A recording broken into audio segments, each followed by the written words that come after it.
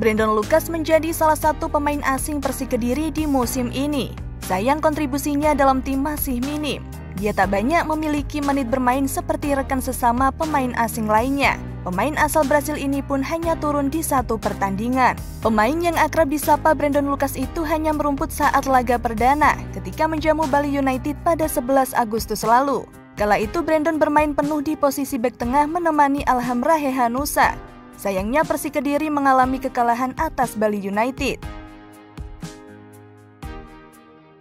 Oleh sebab itu, pelatih Persik Kediri Marcelo Rospide lebih mengandalkan Francisco Carneiro alias Kiko Bahkan komposisi bek tengah itu hampir tak tergantikan. Pasalnya Hamra dan Kiko menunjukkan kerjasama yang solid dalam pertandingan tim Persik Kediri.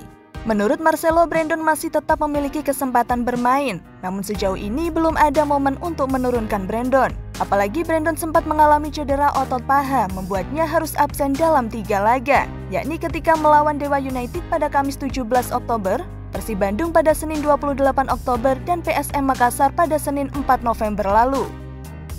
Untuk diketahui, Brandon Lucas sudah bergabung dengan Persik Kediri sejak Juli lalu. Kedatangannya memunculkan harapan besar bisa membantu tim di lini pertahanan. Sayangnya debutnya di sepak bola Indonesia khususnya di Persik belum memuaskan.